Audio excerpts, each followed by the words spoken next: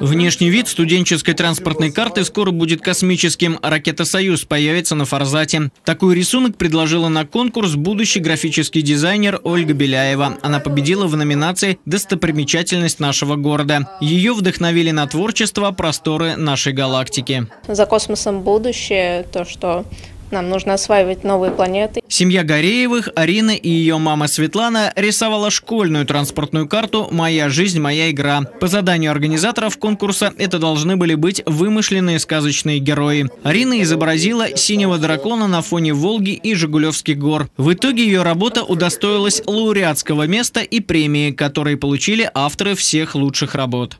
Я езжу в школу на троллейбусе.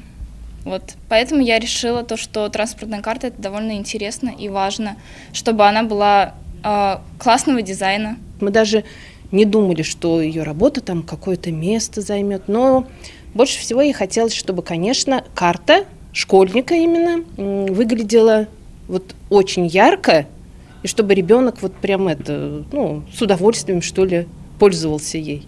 Участвовали в конкурсе дизайна транспортной карты целыми школами дополнительного образования. Педагоги, которые наиболее творчески и ответственно отнеслись к участию своих подопечных в конкурсе, были поощрены благодарственными письмами. Марьяна Запитецкая отмечает, что стимулировала детей не только к творчеству, но и к изучению транспортной инфраструктуры Самары, особенностей разных видов общественного транспорта, маршрутов. Им было очень интересно поучаствовать в жизни города как бы внести вот свое какое-то вот, э, как сказать, взнос в нашу жизнь, во взрослую уже.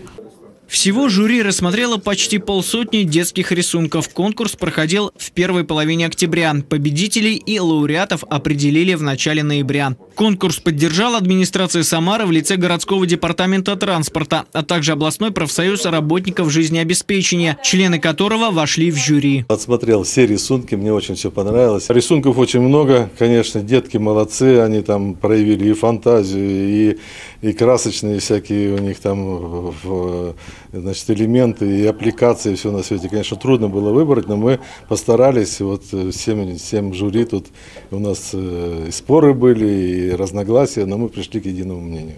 Победители э, этого конкурса, вот лучшие детские рисунки, они будут нанесены на транспортные карты, будет выпущена лимитированная серия, и она поступит в продажу. Я думаю, что и детям будет приятно, и родителям их будет приятно.